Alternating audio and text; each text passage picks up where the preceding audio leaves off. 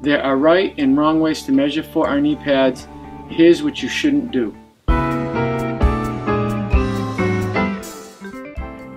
This represents the perfect fit, which has the top of the knee pad coming to the top of the knee cap, plus or minus a quarter of an inch. One of the most common things people do wrong is measuring with their shoes on. This will result with a knee pad fitting too high. Another common thing people do wrong is measuring to the bottom of the kneecap.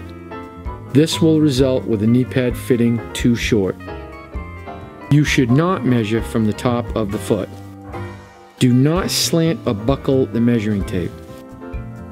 Do not measure in a slanted position. Lastly, do not sit while being measured for our knee pads. This will result with a knee pad fitting too short. With this information, you can now order the proper size.